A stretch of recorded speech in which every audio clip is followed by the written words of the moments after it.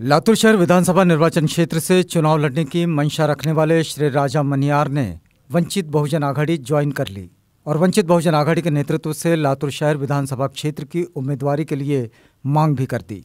राजा मनियार इस समय महानगर पालिका में राष्ट्रवादी कांग्रेस से नगर सेवक हैं। पूर्व मंत्री पद्म सिंह पाटिल और राज्य मंत्री राणा जगजीत सिंह पाटिल के राजा मनियार प्रबल समर्थक माने जाते हैं। राष्ट्रवादी कांग्रेस की स्थापना से ही राजा मणियार राष्ट्रवादी कांग्रेस के कट्टर कार्यकर्ता रहे हैं और महानगर पालिका में विगत चुनाव में चुनकर भी आए।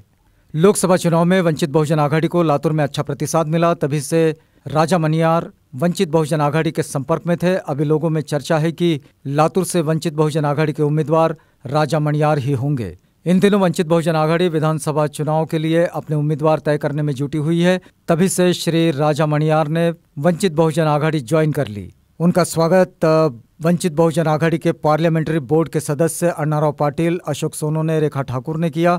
विगत 20 सालों से श्री राजा मणियार नगर सेवक है और पिछड़ा वर्ग तथा मुस्लिम समुदाय में उनका अच्छा खासा जनसंपर्क भी है। वंचित बहुजन आघाड़ी का दामन थामते हुए श्री राजा मणियार ने कहा कि उन्होंने बरसों राष्ट्रवादी कांग्रेस में काम किया है, वे किसी से भी नाराज़ नहीं है। वंचित बहुजन आघाड़ी में न्याय मिलेगा। इस आशा के साथ लातूर शहर विधानसभा निर्वाचन क्षेत्र से उम्मीदवारी की मांग की है। यदि उम्मीदवारी मिलती है तो अच्छा ही है। उम्मीदवारी नहीं भी मिली, तब भी वंचित बहुजन आघाड़ी का काम करता रहूँगा।